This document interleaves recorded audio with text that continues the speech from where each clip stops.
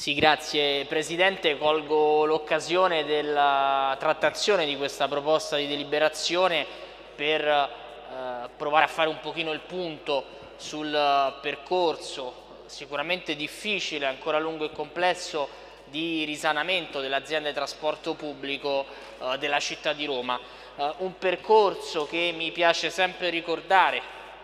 è stato avviato anche grazie soprattutto al contributo di quest'Aula che ormai circa tre anni fa eh, approvò delle delibere eh, importanti e anche delicate eh, che erano volte ad esempio a, a prolungare di due anni l'affidamento del servizio di trasporto pubblico ad ATAC, stanziamenti in bilancio grazie ai quali poi si sono acquistati, eh, Roma Capitale ha acquistato questi mezzi che adesso ci apprestiamo a, uh, a dare appunto ad ATAC uh, con un contratto di usufrutto a titolo oneroso. Penso che questi passaggi siano importanti anche per i colleghi troppa confusione, troppa confusione si fa veramente fatica a sentire. Grazie Presidente, dicevo sicuramente il percorso di risanamento di ATAC è un percorso che è stato avviato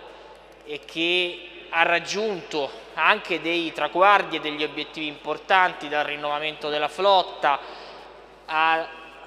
questo chiaramente prima della pandemia dei ricavi da mercato, un aumento dei ricavi da bigliettazione e da mercato, un'intensificazione eh, dei controlli sugli autobus per verificare appunto eh, il possesso del titolo eh, di, di, viaggio. Però ecco, approfitto di questa discussione in aula anche per rimarcare a tutti i colleghi, alla giunta, alla sindaca, che chiaramente questo percorso, come sappiamo tutti, eh, è diventato difficoltoso alla luce della crisi pandemica che stiamo vivendo ancora oggi. Vi do, colleghi, qualche numero, qualche riferimento, considerate che eh, i ricavi da bigliettazione di ATAC sono circa 270 milioni di euro l'anno,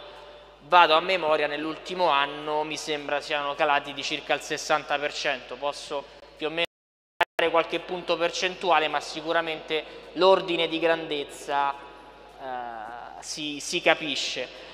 Ovviamente non è solo un problema di ATAC, io l'ho seguito anche in ANCI, nell'Associazione Nazionale dei Comuni Italiani, chiaramente è un problema di un pochino tutte le aziende di trasporto pubblico italiano, ovviamente molto è stato fatto eh, a livello centrale, dai governi con misure di sostegno e così via. Però è bene ricordare che ancora non siamo usciti da questa fase difficile ed è bene continuare a lavorare ovviamente fianco a fianco con la nostra azienda offrire un servizio sempre più efficiente e efficace eh, per i cittadini. Ci sono sicuramente ad oggi alcune eh, situazioni che stiamo affrontando anche in commissione, sicuramente eh, complicate, penso al tema della tranviaria piuttosto che all'esercizio dei filobus. Anche lì ad esempio sulla manutenzione tranviaria è bene cambio di paradigma e ricomprendere nel contratto di servizio, già nel contratto di servizio, le risorse necessarie per la manutenzione straordinaria, tra virgolette, perché poi in realtà non è una vera e propria manutenzione straordinaria, ad esempio dell'armamento eh, tranviario. Oggi dei problemi che abbiamo anche sulla manutenzione tram è dovuto al fatto che il proprietario dell'infrastruttura che è Roma Capitale deve di volta in volta in bilancio stanziare i fondi, destinarli poi ad ATAC che a sua volta una volta che ha i fondi fa le gare per la manutenzione, per il rinnovo del regolamento. È chiaro che queste sono delle lungaggini che si potrebbero eh, sicuramente evitare a beneficio dei cittadini riconoscendo direttamente nel corrispettivo eh, chilometrico che adesso anche qui vado a memoria non ricordo sono 15-20 euro al chilometro un qualcosina in più per prevedere già, diciamo così, di base la manutenzione dell'armamento tranviario. Perché apro una piccola parentesi, visto che siamo in discussione generale, sicuramente ci si può un pochino dilungare o si può spaziare su questo argomento. Un'altra serie di argomenti che abbiamo trattato in Commissione Mobilità è quella del nuovo contratto di servizio che sappiamo, questo attuale di ATAC scade a dicembre di quest'anno e quale occasione migliore di costruire un contratto di servizio eh, moderno, efficace, che metta nelle condizioni ATAC di poter esercitare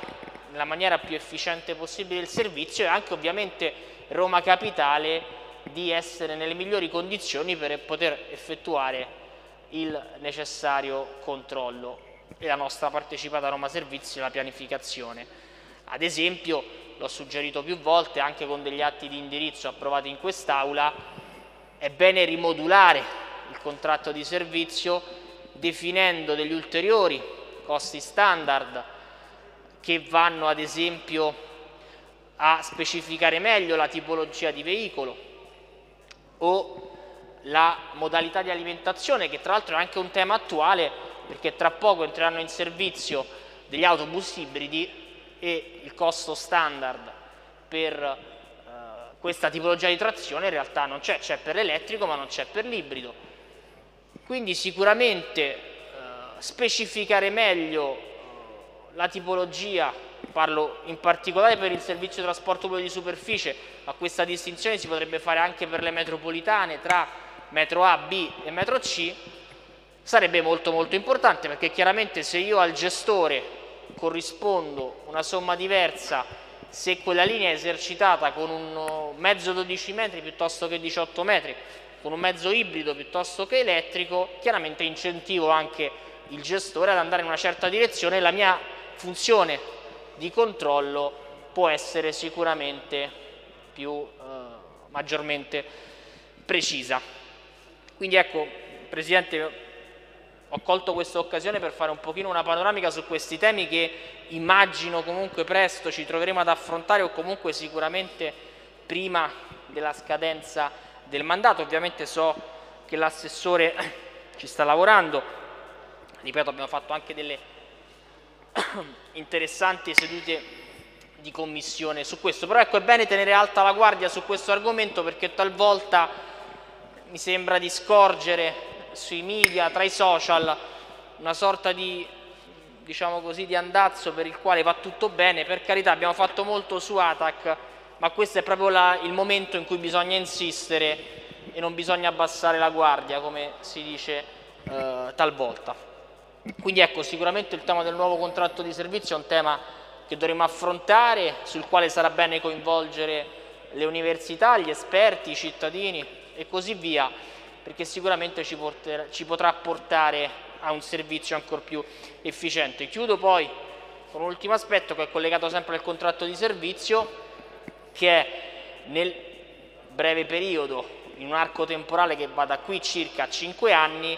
la nuova rete tranviaria che abbiamo pianificato nel piano urbano della mobilità sostenibile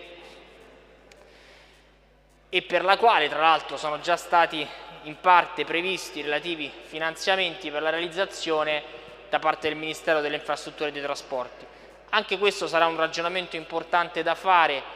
in un'ottica di nuovo contratto di servizio o, come si accennava, magari in un'ottica di un contratto di servizio attuale che vada a scadere prima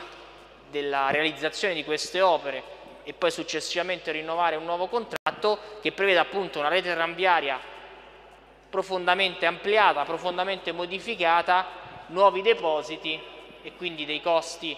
di gestione sicuramente differenti. Quindi colleghi non voglio annoiarvi di più anche perché il tema capisco è un pochino tecnico però mi sembrava interessante e soprattutto importante metterlo nero su bianco anche in questa seduta. Grazie.